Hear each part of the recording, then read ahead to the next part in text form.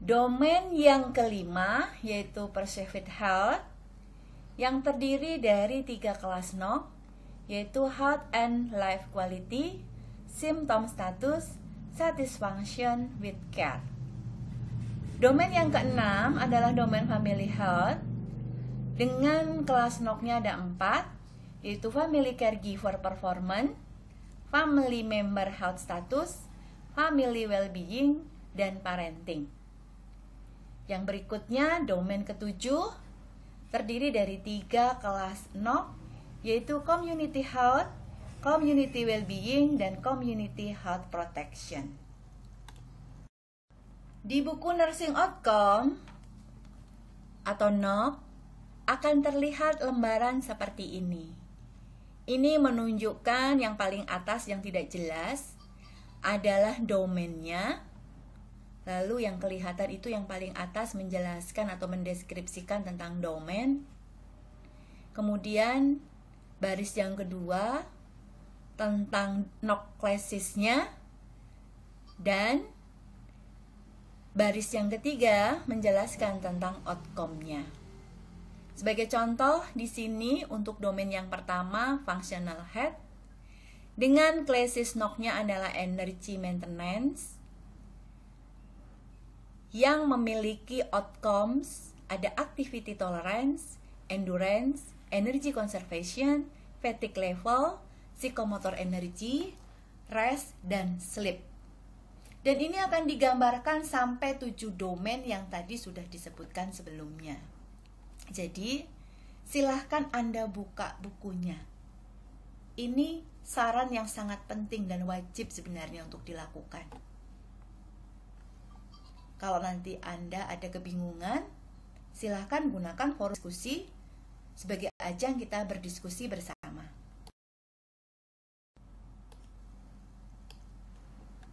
Bagaimana langkah-langkah menyusun NOC? Yang pertama, menetapkan label NOC dengan melihat definisi dari setiap label NOC tersebut yang paling tepat kira-kira apa. Tentunya di sini dengan mempertimbangkan yang kedua, diagnosa keperawatan dilihat batasan karakteristiknya, faktor yang berhubungan atau faktor risikonya. Sehingga menggambarkan kondisi klien yang selanjutnya akan digunakan untuk menetapkan indikator dari pencapaian NOC-nya. Berikutnya nursing intervensi. Nursing intervensi klasifikasi adalah suatu klasifikasi tindakan keperawatan yang terstandar dan komprehensif. Mempunyai label nursing intervensi klasifikasi, definisi label nursing intervensi klasifikasi, dan aktivitas keperawatan. Pada nursing intervensi klasifikasi ini, terdiri dari tiga komponen, yaitu domain, kelas, dan intervensi. Silahkan buka buku nursing intervensi klasifikasinya. Menyusun rencana keperawatan merupakan langkah ketiga dari proses keperawatan. Pada saat menyusun perencanaan keperawatan, yang pertama yang akan kita lakukan adalah memprioritaskan diagnosa keperawatan. Selanjutnya, dari diagnosa keperawatan yang diprioritaskan, kita akan menetapkan tujuan yang dapat diukur, yaitu dengan menetapkan label nursing outcome-nya dan menetapkan indikatornya. Lalu, yang berikutnya adalah supaya tujuan itu bisa tercapai, maka tindakan apa atau intervensi keperawatan apa yang harus ditetapkan? Maka di sini langkah berikutnya adalah menetapkan intervensi keperawatan dengan menetapkan label nursing intervensi klasifikasi dan aktivitas keperawatannya. Silahkan buka buku uniknya. Anda akan menjumpai lembaran seperti ini ini menjelaskan tentang domain dan kelas pada nursing inter intervensi. Sebagai contoh di sini adalah domain pertama, domain fisiolog maaf domain physiological basic yang terdiri dari enam kelas NIC. Yang pertama activity and exercise management, yang kedua elimination management, yang ketiga immobility management, yang keempat nutrition support, yang kelima physical comfort promotion, dan yang keenam self care facilitation. Kolom yang kedua baris ke atas ini menunjukkan domain yang kedua dari NIC yaitu psikological complex. Lalu huruf G sampai dengan L ini menunjukkan kelas pada domain yang kedua yaitu ada enam juga. Mulai dari electrolyte and acid base management, drug management, neurologic management, perioperative care, respiratory management, skin atau wound management.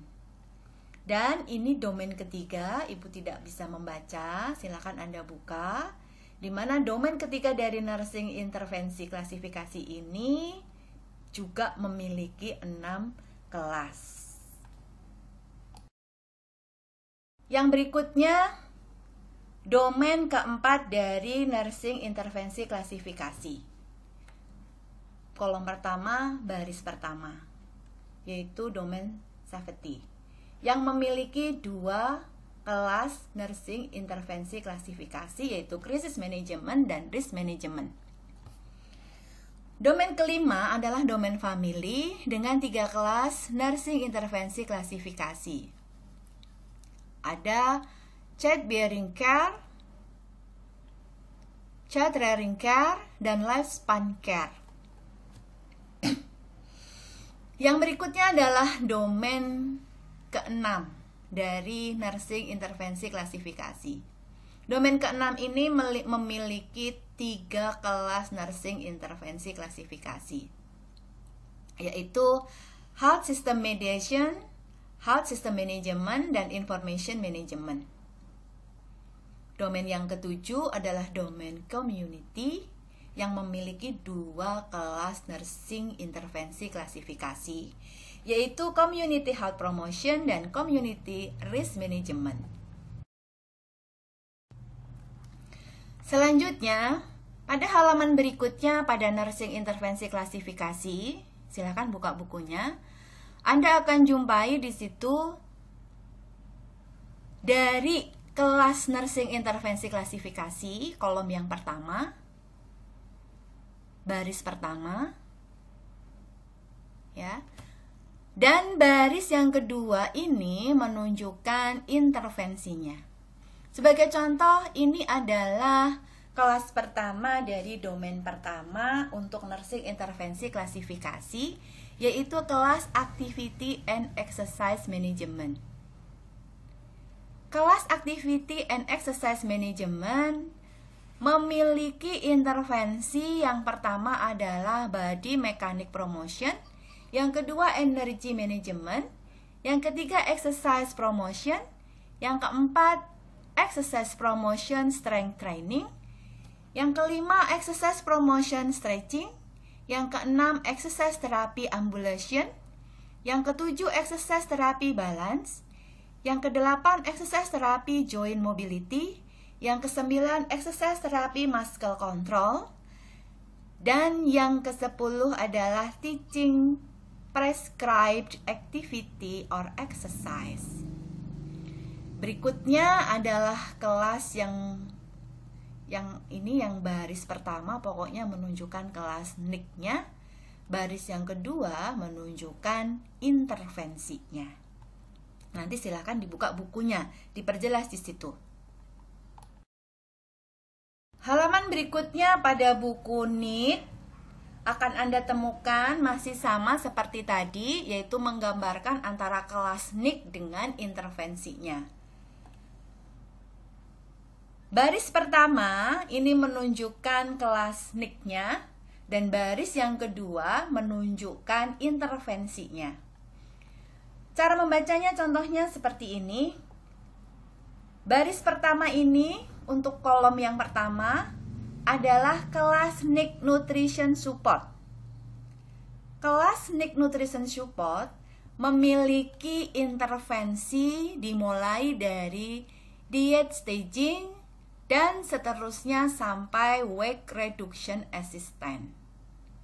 Begitu juga dengan kolom yang kedua. Kolom yang kedua adalah baris pertama menunjukkan kelas NIC yaitu physical comfort. Lalu baris yang kedua pada kolom kedua ini menunjukkan intervensinya. Mulai dari acupressure sampai vomiting management. Kemudian Kolom yang ketiga, baris pertama ini menunjukkan kelas NIC Self-Care Facilitation dan baris yang kedua menunjukkan intervensi pada kelas Self-Care Facilitation yaitu dimulai dari betting dengan kodenya 1610 dan seterusnya sampai tube care dengan kodenya 1870. Contoh, bayi Nyonya T usia 7 hari dibawa ke poliklinik anak karena ibunya mengeluh bayinya tidak mau menyusu. Hasil pemeriksaan menunjukkan suhu 36,2 derajat Celcius, respirasi rate-nya 52 kali per menit, nadinya 110 kali per menit. Dan tali pusat sudah putus pada hari ke-6. Setelah dikaji oleh perawat, ditemukan data bahwa bayi Nyonya T mempunyai respon menghisap dan menelan yang buruk. Setelah beberapa menit, perawat mencoba agar ibunya menyusui bayinya dan puting susu berhasil masuk ke dalam mulut bayinya dengan cara dimasukkan dengan jari. Namun bayi tidak mau memulai menghisap dengan efektif.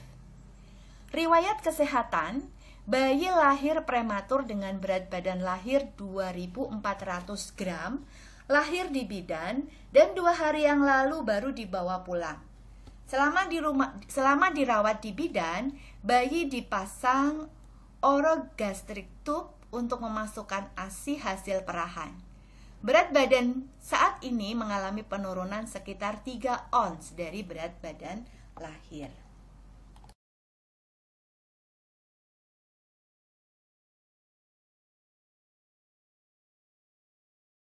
Langkah yang pertama kita akan menetapkan diagnosis reasoningnya yaitu dengan cara pertama menggarisbawahi tanda atau gejala yang maladaptif.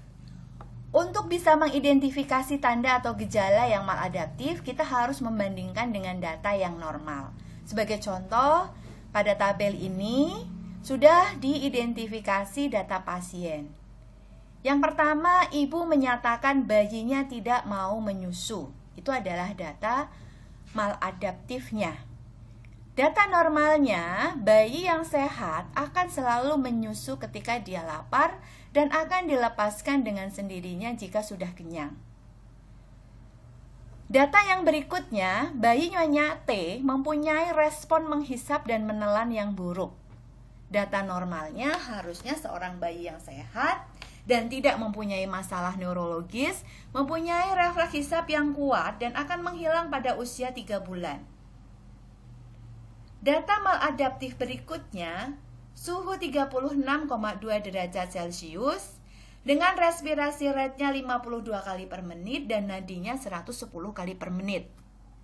Data normal, Harusnya hasil suhu, nadi, dan respirasi rate bayi tersebut normal pada bayi usia di bawah 2 bulan.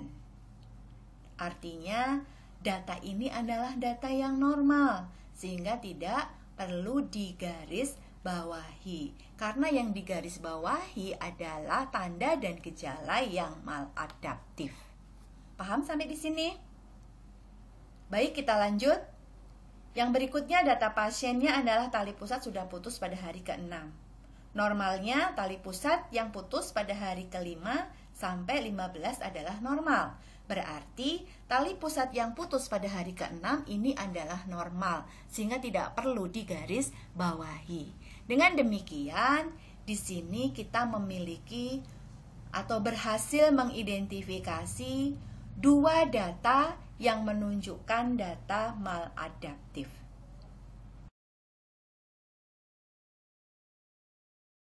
Pada slide ini Ini masih sama dengan yang sebelumnya yaitu menggarisbawahi tanda atau gejala yang maladaptif. Anda silahkan perhatikan. Di slide ini kita menemukan dua data lagi yang maladaptif. Sehingga data tersebut digarisbawahi. Karena setelah dibandingkan dengan data normal ternyata ini tidak sesuai. Sehingga dikatakan maladaptif.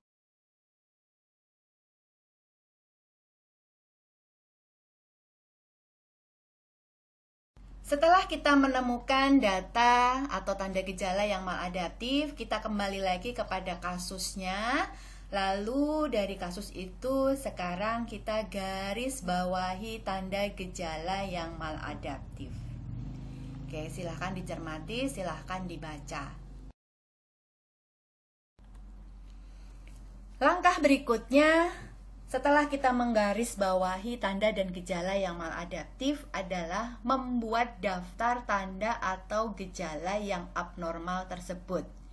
Jadi yang sudah digaris bawahi, lalu kita buat daftarnya, tuliskan lagi.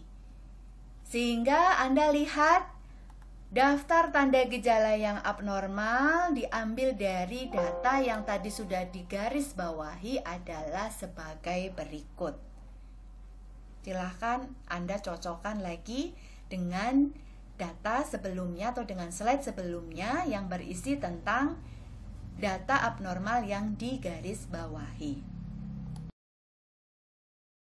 Setelah kita membuat daftar data yang abnormal, selanjutnya data yang abnormal tadi dikelompokkan data yang mirip atau berhubungan dalam satu klaster. Contohnya seperti ini.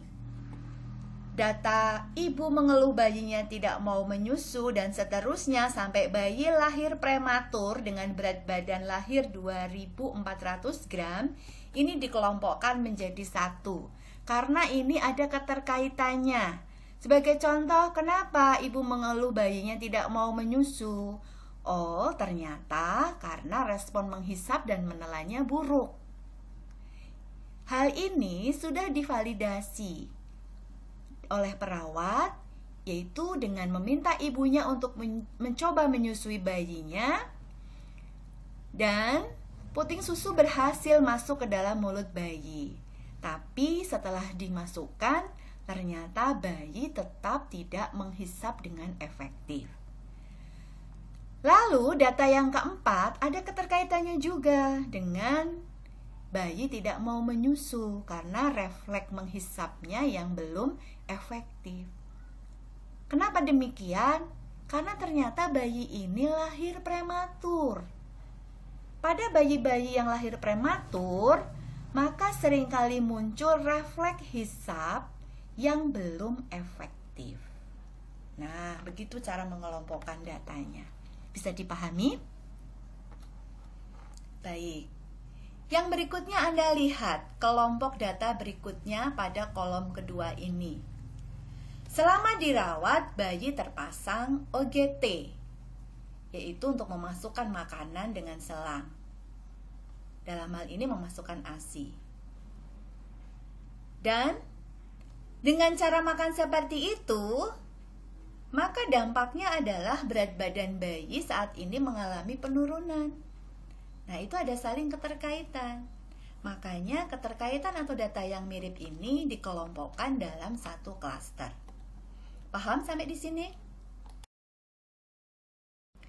Setelah data dikelompokkan dalam satu klaster, selanjutnya langkah yang berikutnya kita menganalisa, menginterpretasikan tanda dan gejala tersebut.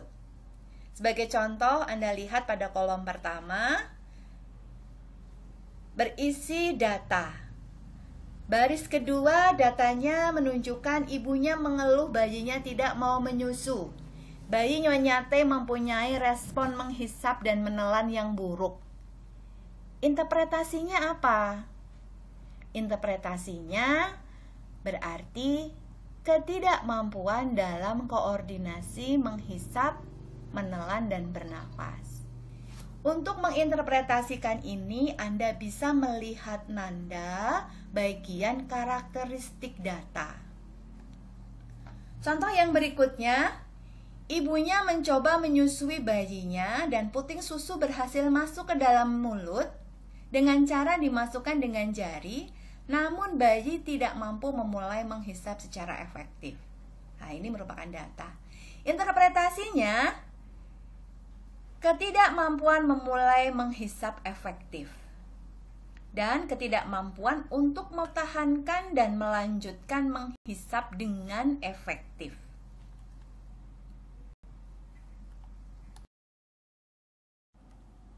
Contoh yang berikutnya lagi, datanya bayi lahir prematur dengan berat badan 2400 gram. Interpretasinya berarti bayi prematur.